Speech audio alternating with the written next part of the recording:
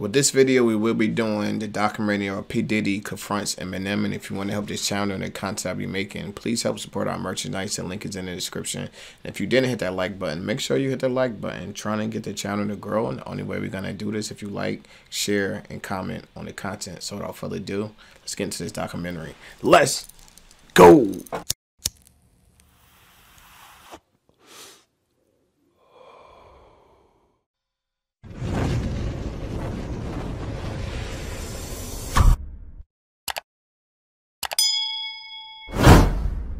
Chi Chi, get the Yale. Get the Yale. You don't want a beef with Eminem. Facts. He, he shreds. Facts. Uh, that's who nobody want to f with, yo. That is crazy. Facts. When news broke on the web about Keef D's arrest in connection to Tupac's murder, it ignited Wow. a frenzy of wild speculations. Many on the internet believe that some hip hop executives are now trembling with anxiety as online users draw eerie It's parallels with Eminem's lyrics in Killshot. We are here today crazy. to announce the arrest of 60 year old Duane Keith Davis, aka Keefy D, for the murder of Tupac Shakur. The arrest of Keef D, a figure linked to the unsolved murder of the And the crazy part is, we seen the actual footage of him when they grabbed him. It looked like he was outside taking a walk or something. Had a water bottle in his hand. They said, "Come here," grabbed him up, um, put the cuffs on him. Um, same outfit he had on when they grabbed him up. And it's crazy. That's part of this documentary. Yeah, that's wild. It sounds like it's gonna be interesting though, Yeah, it sounds gonna be interesting. for sure. The iconic rapper Tupac Shakur sent shockwaves through the hip hop community. You must be aware that Tupac's oh, murder from has a been a mystery for years, fueling countless conspiracy T.I. theories and discussions. And now Keef D's arrest added a new layer of intrigue on. to this Okay, I see long-standing enigma. Davis was arrested this morning by my LVMPD criminal apprehension team, and this investigation started on the night of September 7th, 1996. On September 29, 2023, Keef D, a key figure in discussions surrounding the events leading to Tupac Shakur's tragic death, found himself in legal trouble as he was arrested. on polo. Keef D had been a frequent guest on interviews and podcasts where he openly discussed the incident that resulted in Tupac's demise. During one notable appearance on Vlad TV, tensions arose when EDI, mean of Tupac's Outlawz, asked a probing question. He was gonna go uh, drink and smoke some weed, and he happened to be hanging out the window. He was hanging out the window like he was in parade. Tupac. Yeah, he was. Keef D, who was And a lot of people be like, why would he put this information out here? Why would he go telling himself um, in the interviews? Before he even did the interviews, first of all, he had a book, a tell a book. We wrote all this in the book. So he wasn't saying nothing in these interviews that he didn't have a book already, already already published. and then second of all, from my understanding, I don't know if it's true or not, but from my understanding, um, he's got cancer and don't have that much time um, on this earth. So he didn't. He's like, why not get my family some bread? Why not put some fun, uh, money in my family pockets before I check out? Yeah, if that's the case, it, that's the only thing that would make sense. Yeah. I mean, you don't wish that on nobody, but I mean, it's a lot to this unraveling this Yeah, whole For sure. situation. And one hand, it's like, dang. and On the other hand, it's like, man, for real, For real. It's crazy. Yeah. The uncle of the alleged K of Tupac did not shy away from sharing his perspective on various platforms. His willingness to provide insights into the Oh, fateful night in Las Vegas on September for 7th, 1996 has surprised many. According to him, he had been in the car alongside his nephew Orlando Anderson when the infamous shooting occurred. Sir, do you have a phone?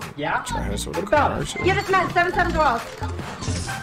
Ultimately claiming Tupac's life. Baby Lane and Freaky were in the back seat. We was just all in the car together. Okay. just. This was the white Cadillac. Yeah. Following further investigations, there was growing anticipation that Diddy might have been involved in hiring Keef D to orchestrate Tupac's murder. Detective Greg Kading arrived at a shocking revelation. Sean Puff Daddy Combs was alleged to have ordered a hit worth $1 million on Tupac Shakur. The suspected motive was believed to be connected to the intense rap feud between himself and Biggie Smalls. Kading asserted that the music mogul had substantial gang affiliations in Los Angeles and had reportedly engaged in the services of Duane Keith Keef D. Davis, Tupac has always been my favorite rapper forever. That's like my top um, rapper.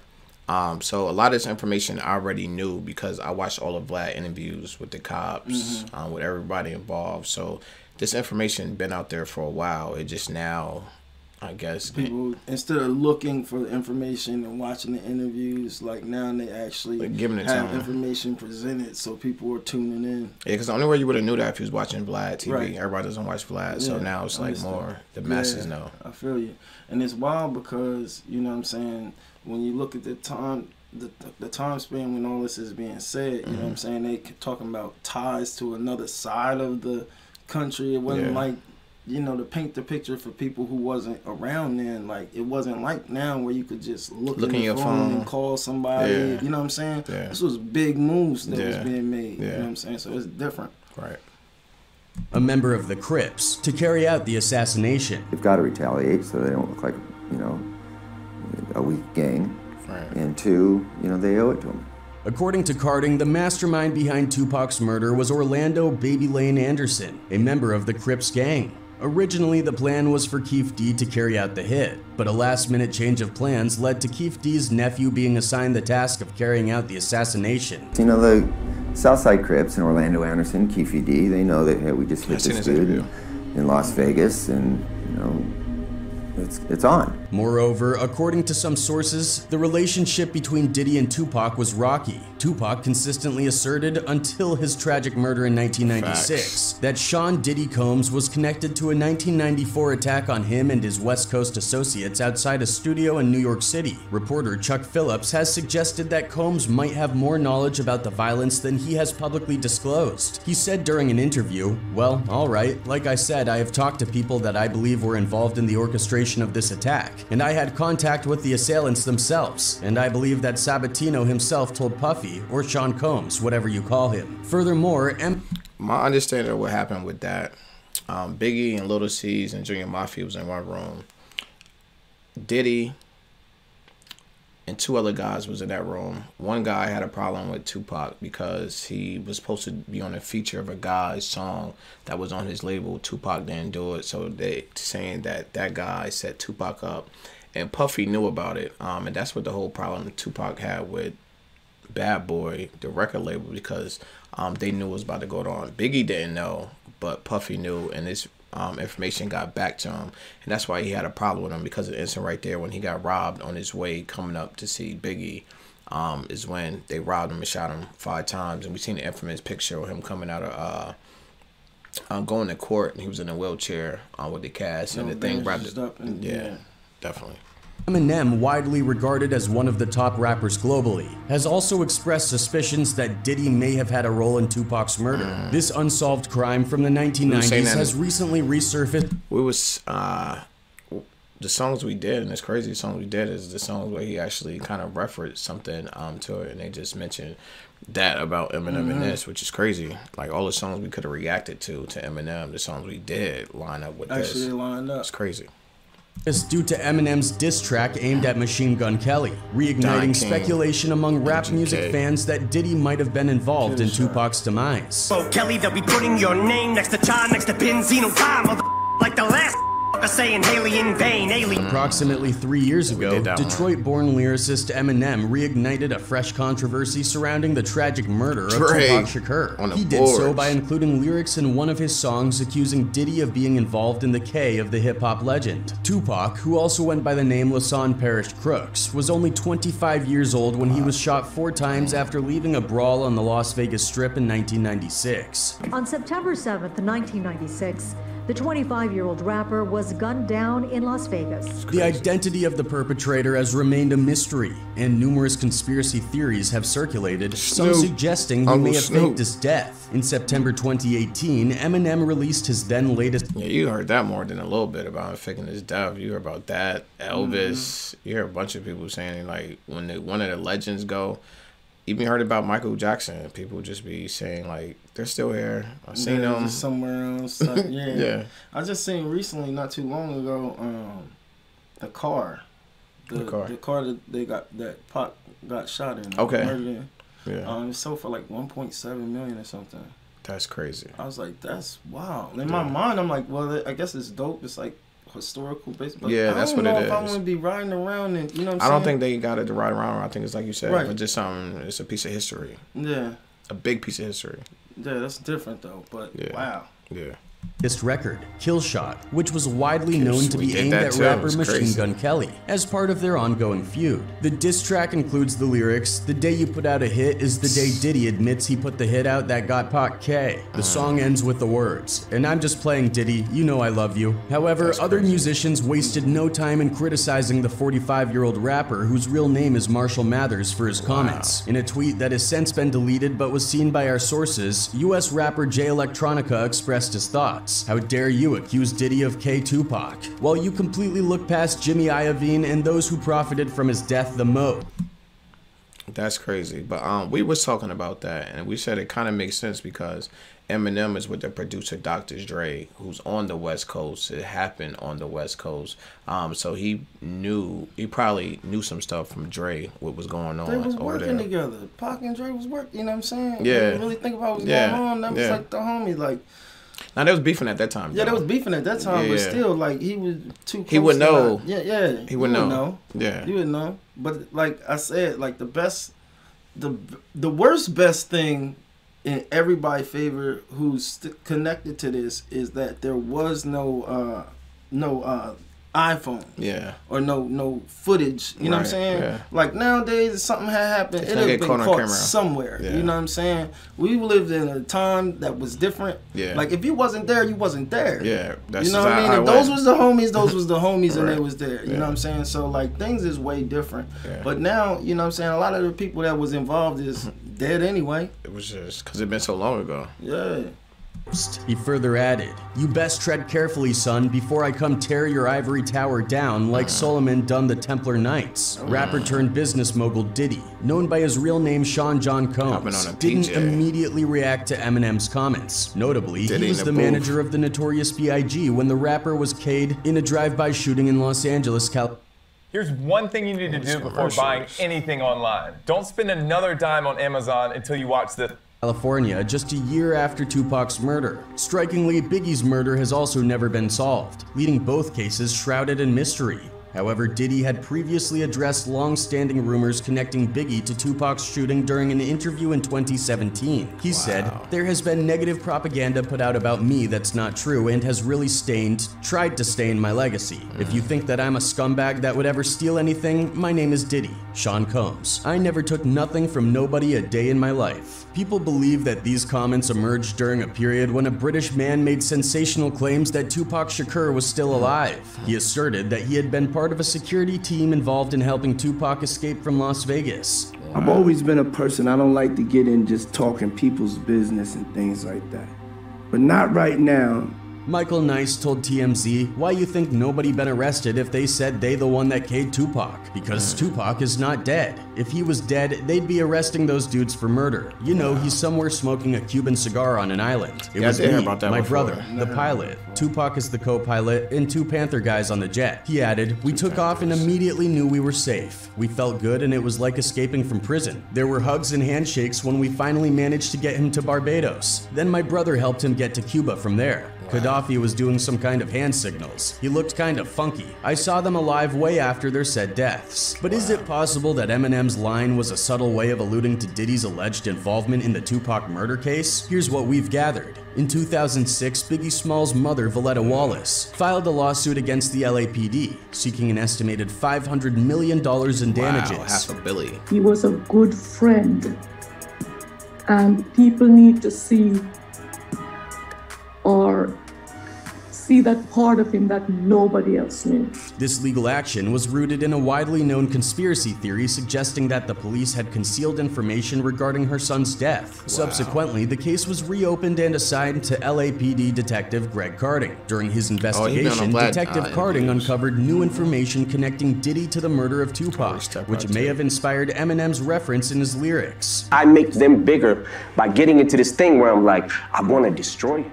And Greg was also the one who linked Biggie and Tupac's death. Gotta retaliate so they don't look like, you know, a weak gang. And when he claimed that Baby Lane was the one who did the deed, he also got involved in a fistfight with Pac at a Las Vegas mm. casino hours before the shooting took place. Another bombshell was dropped that allegedly Faith Evans, who was married to Biggie Smalls at the time, was said to have knowledge of a plot involving Diddy to harm Tupac Shakur. Following Tupac's murder on the West Coast, I Keef D that. reportedly asserted that he reached out to both Diddy and Evans, informing them that they bore responsibility for the rapper's death. If you ask him, man, was that us? Was it, you know, what just happened out there? QVD's like, yeah. Even more surprising, Detective Kading asserts that Biggie had no involvement in the murder of Tupac, despite their widely known feud in the world of rap. He maintains that Biggie had no knowledge of any sinister intentions from Diddy to harm both Tupac Shakur and his manager, Suge Knight. And I think that they had love for him. You know, I think they really respected him, and he was, you know, trying to represent, you know, The saga persisted, following his close brush with death in the Tupac murder case. It's purported that Suge Knight, the head of Death Row Records, sought vengeance by allegedly enlisting a member of the Bloods gang to eliminate the notorious B.I.G. The hired hitman fatally shot Biggie as he was returning home from a Vibe magazine hosted party. What's intriguing is that the documentary also asserts that Knight had encountered Tupac's assailant and even attended the same school as the contracted hitman Keef D. The man got killed, and the homies was there, and and Suge was the homie, and he was with Death Row. Wardell Poochie That was like uh, Mob James. He was another um, guy. Um, he was on the other side, the South Side Crip sides. Um, he know a lot that was going on around that time, and a lot um, what happened. He gave a lot of information on his Vlad DVs, at least what he knew um, that happened at the time. the homie, and he was with Death Row. Wardell Poochie Fouse, an alleged member of the keep Bloods gang, picture. is said to have carried out the murder of Biggie after purportedly receiving a payment of $13,000 from Suge Knight. As per Kading's account, Poochie was present at the same party as Biggie and reportedly fired shots at Biggie's car as they were attempting to depart. Tragically, Biggie succumbed to his injuries while en route to the hospital. So they realize, you know, the Southside Crips and Orlando Anderson, Keefe D, they know that hey, we just hit this dude in, in Las Vegas, and you know, it's it's on. According to Kading, despite their thorough investigation, the case was eventually dropped because the LAPD managed to defeat the $500 million lawsuit filed by Biggie's mother, Voletta Wallace. In 2009, Kading was subsequently removed from the task force as a result of a separate internal affairs investigation. Even though he was ultimately cleared of any charges, there are still individuals who perceive the retired detective as a rogue cop. At the same time, these guys are very self-assured and they believe in the strength of their gang and they're violent. Both Orlando Baby Lane Anderson and Wardell Poochie Fouse have reportedly passed away from apparent unrelated causes. Therefore, even if the assertions made in the documentary were accurate, Yo, he got everybody on the board. He got Mace. I mean, he got Diddy, Lil C, Suge. Um, Reggie White is he was a cop slash security. Got everybody.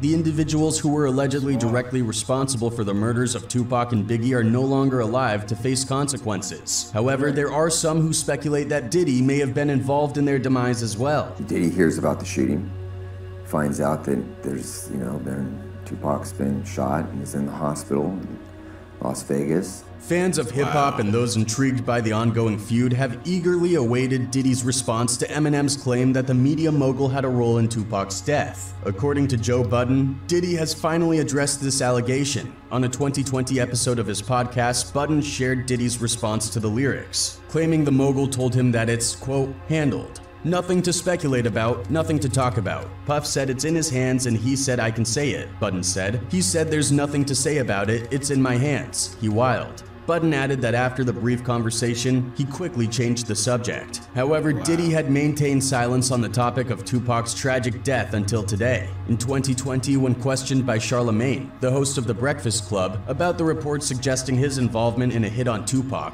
Diddy responded, We don't talk about things that are nonsense. We are not even going to go there with all due respect. But I appreciate you as a journalist for asking. Diddy emphasizes that he has undergone significant personal growth throughout his career. I seen that um interview with Charlamagne. Did you see that interview that just was shown right there? Yeah. He was just real dismissive of it. Like we don't do stuff like that. We don't talk nonsense. We don't entertain nonsense. We're just dismissive of it altogether. Yeah, he just like he deflected. Yeah, that's a good way to He put it. deflected. It Yeah. just sucks, though. You know what I'm saying? In the grand scheme of things, it's like anything else. Nobody wants their name involved in No. you know anything of this nature. No, you know what I'm saying? at Especially, all. especially when you look at all that he's done and tried to build, and you know what I'm saying? Yeah. It's just it's just a messed up situation because Yeah. it's connected to Buster activity. Yeah, You know sure. what I mean? For no other way to say it. Like, Yeah. and and right now, the best thing he's doing is what he's doing is Keeps his mouth closed. Exactly. Focus on the album. That's it.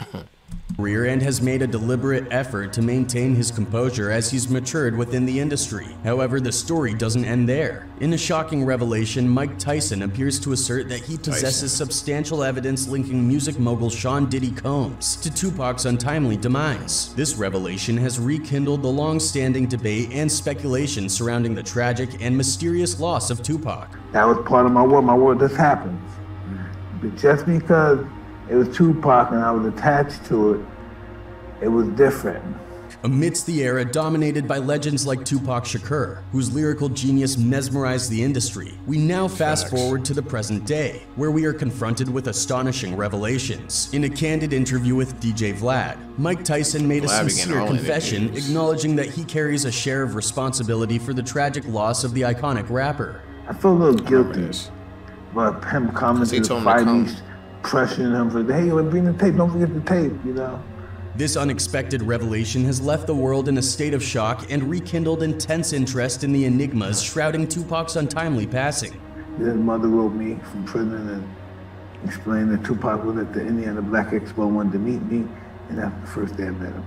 This admission not only brings fresh perspective to the events surrounding Tupac's demise, but also reveals the complexities of the intertwined lives of these two influential figures. The friendship between a boxer and an activist may have appeared of the world at that unconventional, yet it was undeniably authentic. The origins of this connection trace back to a time when Iron Mike was already a renowned star, while Tupac was still striving to establish his name in the industry. Their paths converged in a nightclub, where the aspiring rapper left a lasting impression on the baddest man on the planet with his remarkable musical talent. Really good friend.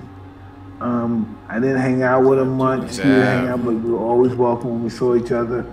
He was always welcome to be with me. It's a heavy burden that he carries, yearning for the ability to rewind time and change the course of history. The Don't we all wish recollections of their do that? friendship and the deep connection time. they once Yeah. shared serve as an enduring reminder of the possibilities that were lost and the profound impact Tupac's absence has had on Mike's life. Expect somebody to die after a fight or somebody get hurt, something crazy happened.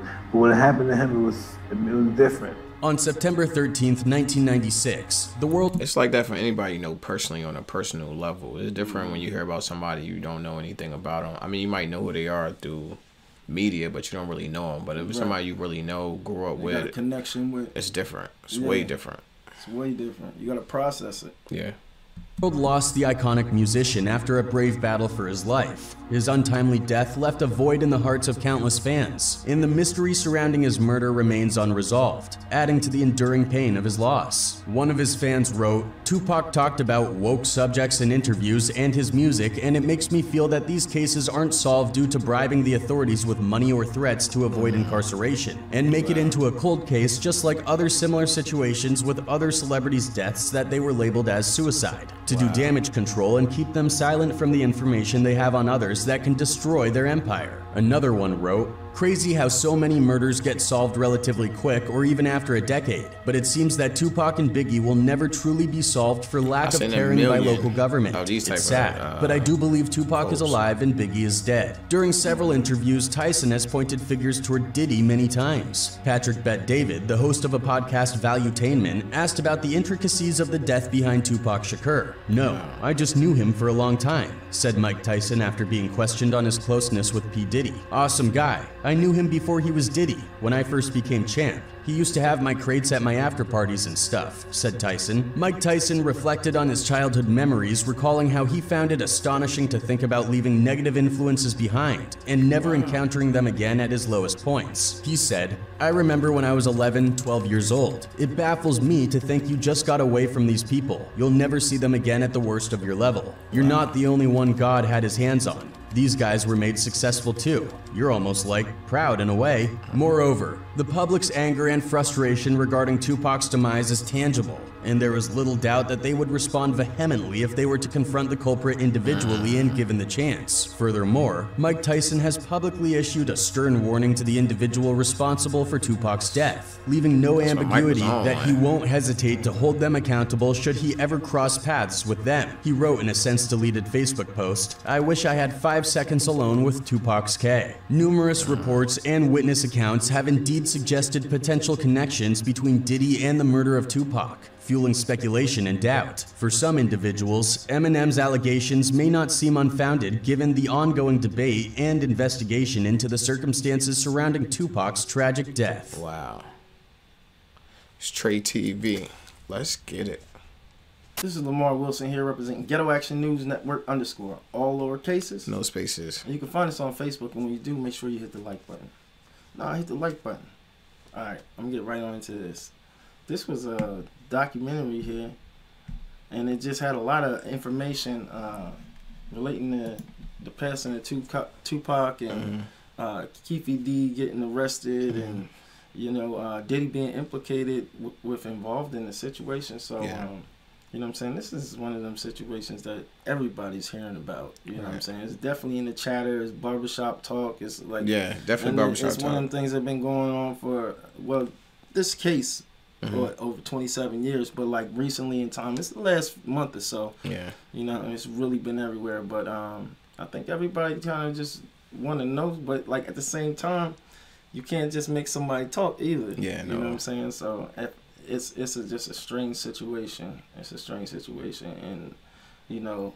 You you wondering what's going to come to pass with this? Like, Yeah, is he going to have to talk? Is somebody going to pull him to the side and start asking him questions? Are they going to leave him alone? Is everybody just going to act like we ain't see nothing? Or Time you know what I'm saying? Because when I even watching this documentary, I'm seeing stuff that I didn't even think about or conceptualize. Right. Like when he had that little tree, Yeah. like of faces and people connected. I was Mm. seeing faces. I was like, well, damn. Like Yeah. I never even would think. Yeah, you know what I'm saying? connected.